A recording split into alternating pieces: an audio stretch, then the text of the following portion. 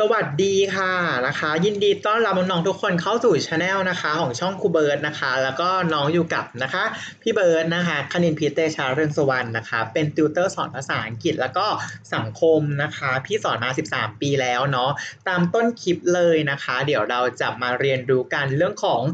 error นะคะ ที่จะใช้ในการทำข้อสอบ GAT Eng เนาะพี่เบิร์ดนะคะ เตรียมมาให้ 10 เรื่องเนาะเราจะเริ่มเรียนเรื่องแรกกันก่อนเลยนะคะ ก่อนที่จะเริ่มเรียนเนี่ยนะคะ ทุกคนสามารถนะเป็นกำลังใจนะคะสนับสนุนนะการสอนของพี่ได้นะคะ ด้วยการกดติดตามช่องครูเบิร์ดช่องนี้เลยนะนะคะ หรือใครที่มีทุนทรัพย์นะคะ ก็สามารถที่จะไปซื้อหนังสือเล่มนี้ได้นะ GAT เชื่อมโยงนะคะ หรือมีทุนทรัพย์มากหน่อยก็ลงคอร์สออนไลน์กับพี่ได้นะคะนะก็ขอให้ได้คณะที่หวังกันทุกคนเลยนะคะน้องม .6 เนาะเดี๋ยวเราจะมาเริ่มนะคะทวนของเก่ากัน แล้วก็เรามารู้กันก่อนว่า error เนี่ยสิบเรื่องเนี่ยที่ต้องรู้ก่อนสอบเนี่ยนะโดยเฉพาะข้อสอบ GAT เนี่ยมีอะไรบ้างที่เราต้องรู้นะคะ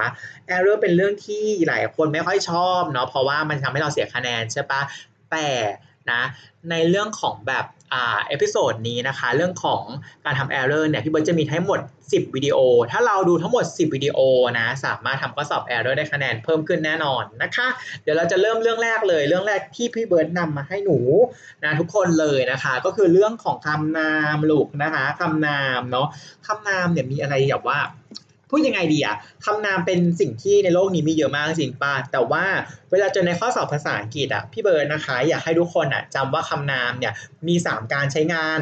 3การใช้งานมีอะไรบ้างเหรอครับพี่เบิร์ดการใช้งานแรกลูกก็คือ เอกพจน์นะคะ เอกพจน์นะคะ อันที่2ลูกก็คืออะไรคะ อันที่2คือพระอะไรคะ พระหูโพจน์และอันที่ 3 ก็คือคำนามนับไม่ได้นั่นเองนะเป็นสิ่งที่เราเรียนกันมาตั้งแต่ตอนประถมและนะม .6 นะคะมต้นนะคะน้ำมปลายเนาะเรื่องนี้เราจะต้องรู้เอกพจน์พหูพจน์แล้วก็นับไม่ได้ เอกพจน์จะมีการเติม a การเติม n ข้างหน้าถูกต้องปะ พหูพหูพจน์จะมีการเติม s เช่นคำว่าโบยเติม s อย่างนี้เนาะนับไม่ได้ก็จะไม่เติม s ใช่ไหมคะ ทีนี้ปุ๊บเนี่ยเรารู้จักเอกพจน์พหูพจน์นับไม่ได้เนี่ยไม่พอ เราต้องรู้จักหน้าที่ เราต้องรู้จักหน้าที่ทีนี้ปุ๊บหน้าที่ของมันมีอะไรบ้าง เวลาจำจำว่าเป็นประธานนะคะเป็น subject เป็นกำตรงนะคะนะเป็นกำรองนะคะนะ เป็นส่วนเติมเต็มแล้วก็วางหลักเพปโพซิชันเวลาเราท่อง พี่อยากให้ทุกคนท่องตามพี่จะได้จำได้ไหนๆก็มาดูแล้วนะคะ เวลาท่องก็ท่องแบบนี้หน้าที่ของคำนาม หน้าที่ของคำนาม ประธานกำตรงกำรอง ประธานกำตรงกำรอง ส่วนเติมเต็มวางหลังเพปโพส่วนเติมเต็มวางหลังเพปโพ ท่องตามพี่ไปท่องแบบนี้เลยนะฮะนะคะ หน้าที่ของคำนามท่องพร้อมกันใครท่องขอให้สอบติดนะจ๊ะเอาอย่างนี้ใครไม่ท่องขอให้คนที่คุยด้วย ไปคุยกับคนอื่นเลยอะท่องสามสี่หน้าที่ของคำนาม หน้าที่ของคำนาม ประธานกำตรงกำรอง ประธานกำตรงกำรอง ส่วนเติมเต็มว่างหลังเพปโพส่วนเติมเต็มว่างหลัง เพมโพนั่นเองนะคะ เพราะฉะนั้นเนี่ยคำนามเนี่ยนะเป็นประธานก็ได้นะคะ เอาง่ายๆอย่างชื่อคนอย่างเงี้ยเช่นพูดว่าสมชายแล้วกันไม่ต้องเป็นสมชายด้วย สมชายรักฉันฉันรักสมชาย เห็นสมชายไหมสมชายก็เป็นประธานได้ สมชายก็เป็นกรรมได้นะ เพราะฉะนั้นเนี่ยหน้าที่ของเขาก็คือประธานกำตรงกำรอง ส่วนเติมเต็มวางหลังเพป โพ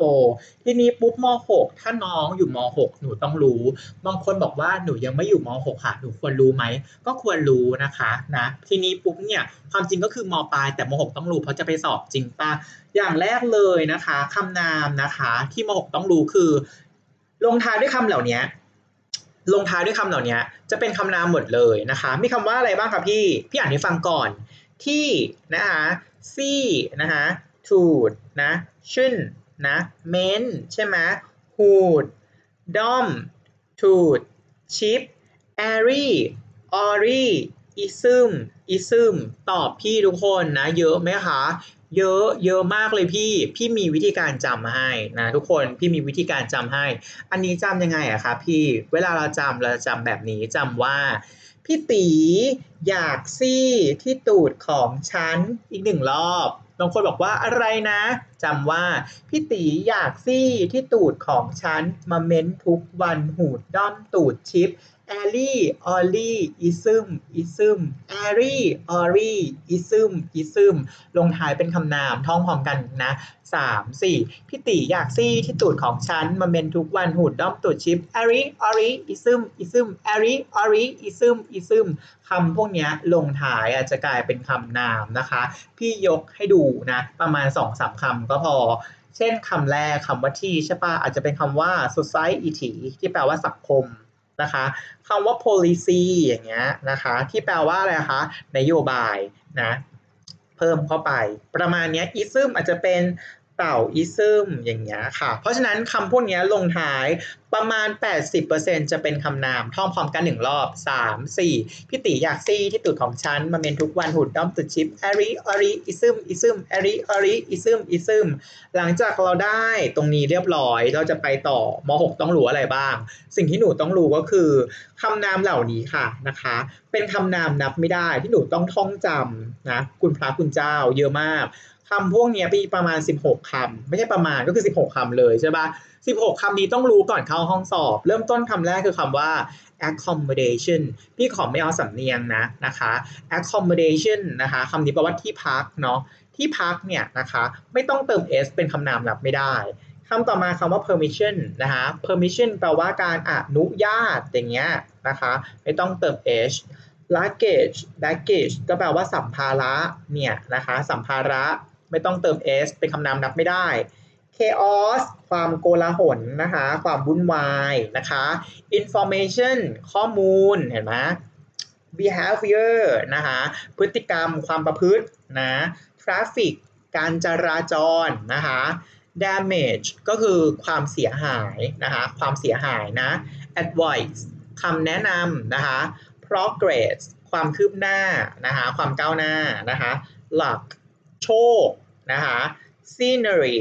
scenery วิวทิวทัศน์นะคะ furniture เครื่องอะไรคะ เครื่องเรือนนะคะ weather สภาพอากาศ แล้วก็ work การทำงาน สิ่งที่ม .6 ต้องรู้ต้องต้องต้องรู้จักพิตีก่อนหนึ่งเลย รู้จักพิตีแล้วก็สองรู้จักคำนามนับไม่ได้ ที่มปลายชอบออก ทีนี้ปุ๊บมันจะไปออกในข้อสอบ error เนี่ยนะคะมันจะออกอะไรบ้าง อย่างที่บอกนะคำนามมีเอกพจน์พหูพจน์นับไม่ได้เขาออกการใช้งาน 3 ข้อ เดี๋ยวเรามาดูข้อสอบพร้อมกันนะคะ